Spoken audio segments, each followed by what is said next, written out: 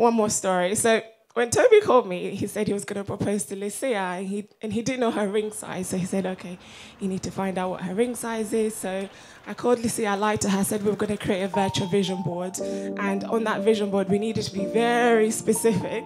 Um, if she wanted to get married, she needs to know her ring size. So we were just doing some measurements, and then you know we found out it was R before I could even tell Toby she got picked out. She ran to the car. She was like, Toby, it's off already.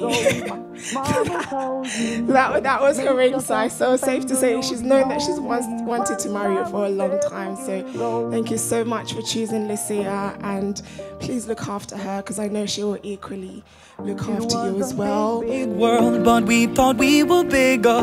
Pushing each other to the limits. We were learning quicker. I, Lauren Toby, Oladipo Rotimi take you, Lucia, Kokunyageza Lutahakana, to be my wedded wife, to have and to hold you from this day forward, for better or for worse, for richer and for poorer, in sickness and in health, to love and to cherish, to death parts us according to God's holy ordinance.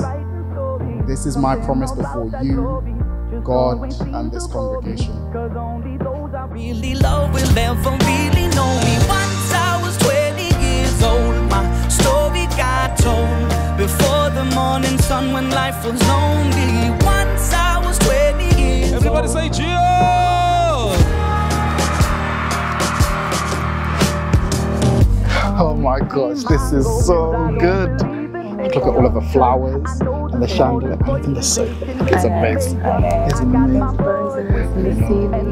So beautiful. It's so picturesque. It's like tranquil and everything.